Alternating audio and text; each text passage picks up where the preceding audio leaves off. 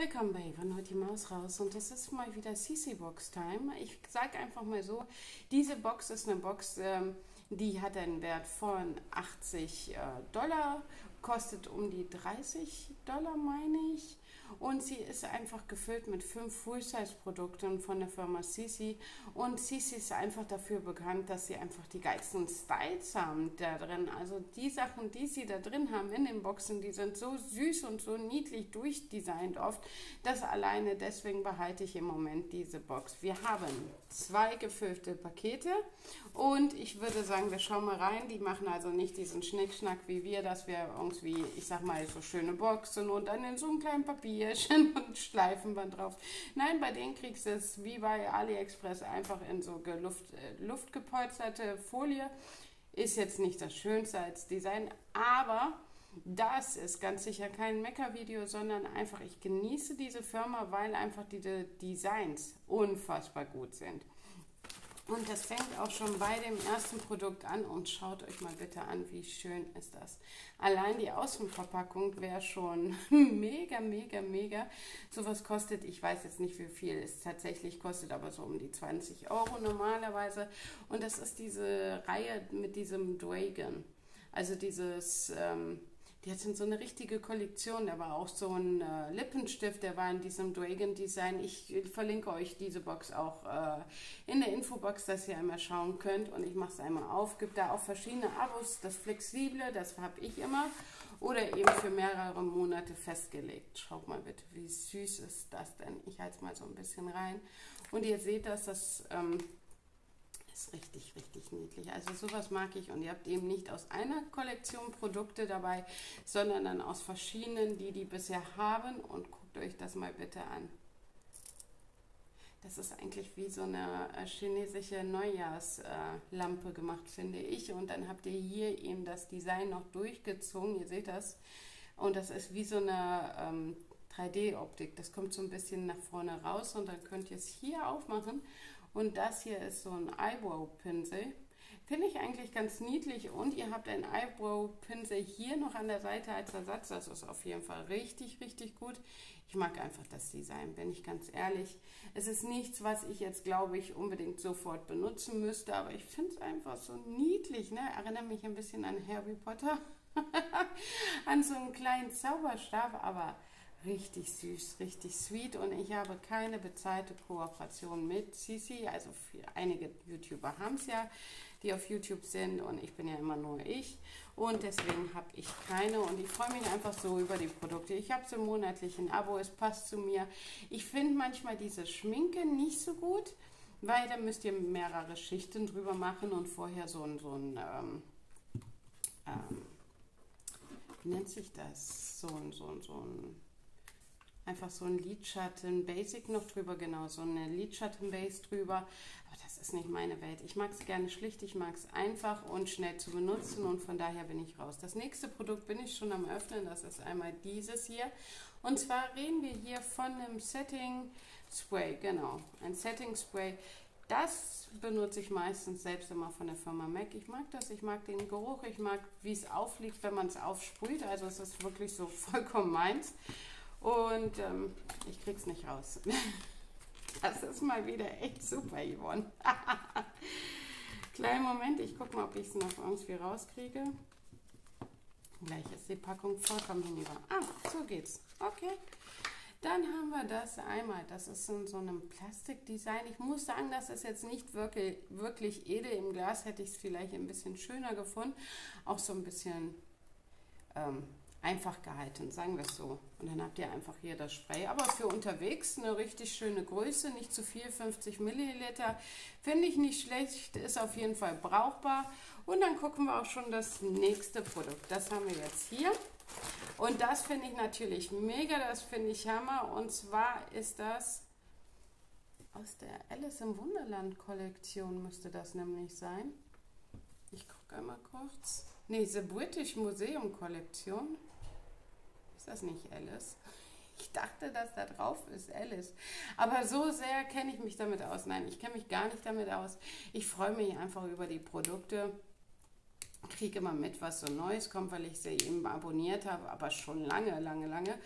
Weil sie eben diese Alice Paletten haben und ich hoffe, dass ich irgendwann in der CC Box nochmal Alice Palette drin habe, weil da habe ich in meiner Primer-Gruppe damals immer Werbung für gemacht, für diese CC Paletten.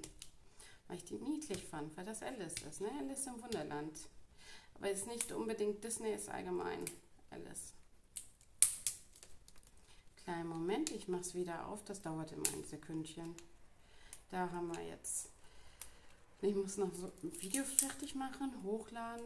Das dauert alles, bis ich das fertig habe. Und das hier hatte ich auch zwei Tage liegen, muss ich ganz ehrlich gestehen. Aber ich hatte vorher keine Zeit, mich da dran zu setzen. Weil ich im Moment ein bisschen mehr arbeite. Wir brauchen im Moment, äh, versuchen wir neues Personal zu kriegen und so. Und das ist dann ganz schön, weil das könnte uns persönlich echt gut helfen im Moment. Gut, ich habe es auf, habe es auch kaputt gemacht so typisch ich, ja.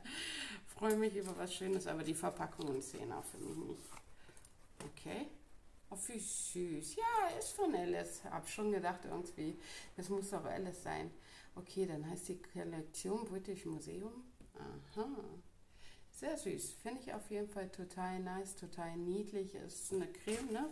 Face Cream oder was war das?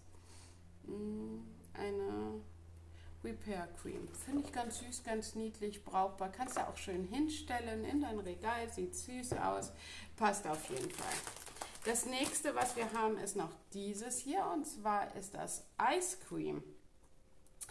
Und da habe ich tatsächlich zum ersten Mal gesehen, dass tatsächlich ein MHD bei denen drauf ist.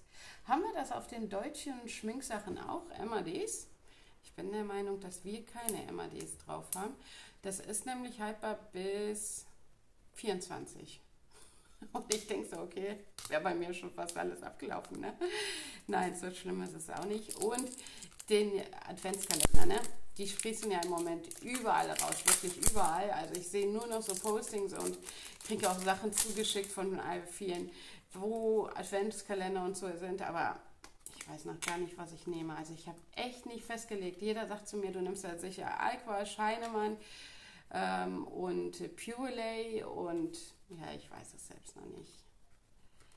Ich fand Eichweich letztes Jahr schön, aber mich hat gestört, dass die gleichzeitig veröffentlicht haben, ähm, die Sachen, die Produkte im Einzelverkauf. Also es war nichts exklusiv dafür und sie haben es am gleichen Tag veröffentlicht, wie auch das Teil am Adventskalender rausgekommen ist. Das heißt, du kannst dir Geld sparen, wenn da Sachen bei sind, die du nicht magst wie süß, eine Mini-Lidschattenpalette. Das finde ich mega, mega süß, mega sweet. Sieht dann so aus, finde ich ganz niedlich in so einem blauen Design. Ich werde sie nicht benutzen, ich werde sie weitergeben auf jeden Fall, weil die brauche ich jetzt nicht so in diesem blauen Design, aber trotzdem sehr schön. Auf jeden Fall. Und ähm, dann kriege ich eben viele Infos, was kommt. Aber ich warte auf bestimmte Adventskalender, die ich eigentlich noch gerne haben möchte. Aber die werden dieses Jahr sicher teuer. Ich habe auch so ein bisschen Bammel davor, was alles kosten soll. Ne? Beim letzten Mal, ja, wie viel hatte ich? Zwölf Adventskalender oder so? Ich glaube schon. Okay, das letzte Produkt ist dieses hier und das ist ja wohl mal mega, mega süß. British Museum, schon wieder mit so einer Schlange drauf. Ob dieses British Museum tatsächlich für was anderes steht? Ich weiß es ehrlich gesagt nicht. Okay, wir gucken einmal nach. Ich finde die ja extrem hübsch, ne? Die ist ja extrem hübsch. Hängt das auch so, ja. Das ist so ein bisschen 3D-mäßig, das heißt, das guckt auch raus. Finde ich richtig, richtig hübsch. Wir können, wenn ihr diese Box haben wollt, über andere Influencer, kriegt ihr auch Rabattcodes. Ne? Nur schon mal als Info. Und dann sieht das so aus. Und dann machen wir den einmal weg. Und dann sieht die Palette so aus. Mega, mega hübsch. Das sind so nude Farben. Das finde ich auf jeden Fall sehr gut. Was mich ein bisschen stört, ist, dass es aussieht, als ob dieser Glitzer ein bisschen kaputt gegangen ist. Aber ich sehe hier keine Überreste, deswegen glaube ich es nicht. Das ist einfach so. Aber insgesamt definitiv eine Arounder-Palette. Mega, mega schön, mega sweet. Und was ich eben mag, ist einfach dieses Design. Wenn ihr das öffnet und ihr schaut rein und es sieht dann so aus. Oder es sieht so aus. Dafür lohnt sich diese Box für diesen Preis. Da brauchen wir echt nicht drüber zu reden. Auch wenn ihr das dann öffnet und ihr habt Alice im Wunderland dabei. Ganz ehrlich, ich finde das so süß. Ich kann mir das so hübsch vorstellen, wenn man sich einfach so hinstellt und genießt. Und selbst wenn es leer wäre, sähe es immer noch niedlich aus. Also ich glaube, die werde ich auch verbrauchen und dann mir irgendwo hinstellen. Das ist jetzt ein Produkt, wo ich sage, es ist nicht hochwertig. Genauso wie dieses hier. Das sind so Plastikdesigns. Ich finde, da fehlt noch das gewisse Etwas, weil es ist einfach so ein bisschen, ne? das ist meine ganz ehrliche Meinung. Es ist eben so ne, reflektierend, wie ich es empfinde, aber ihr könnt das gerne auch ganz anders sehen. Und das finde ich mega hammer. Also alleine für diese drei Sachen hat sich diese Box extrem gelohnt. Die kann man noch bis zum 31. haben. Danach kommt die neue Box wieder. Die bekomme ich auch. Da freue ich mich auch schon drauf. Ich lasse dieses Abo echt im Moment laufen. Und ähm, weil ich einfach gerne ein paar mehr Produkte von dieser Firma haben möchte. Einfach weil das Design mir gefällt. Ne? Und irgendwann werde ich es aber dann raushauen, ähm, rausnehmen, diese Box, weil irgendwann hat man auch genug. Aber insgesamt lohnt sich diese Box sehr, sehr zu empfehlen. Ich wünsche euch alles, alles Liebe. Bis zum nächsten Mal. Bis dann. Ciao.